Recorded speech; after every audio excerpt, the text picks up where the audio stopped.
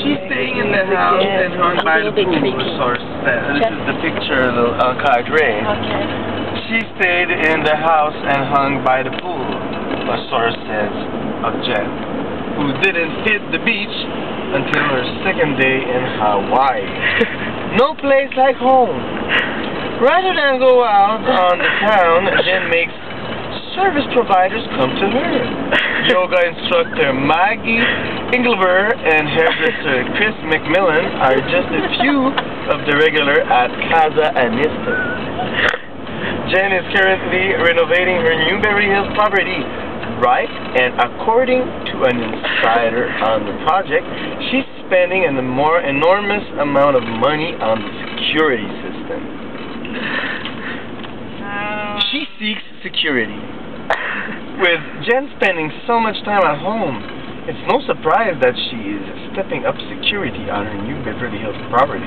Just a few yards away from the 9,000 square foot main house, currently under renovation, sits a guard kiosk, which will contain a central nervous system of a state-of-the-art security system complete with cameras, recorders, motion detectors, and every top-notch gizmos known to the security industry.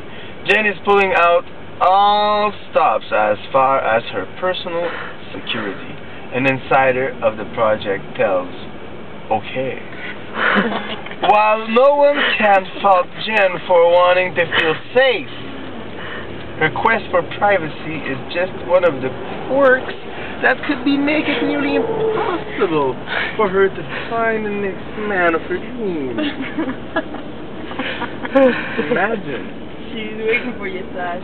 She can't commit. Oh no!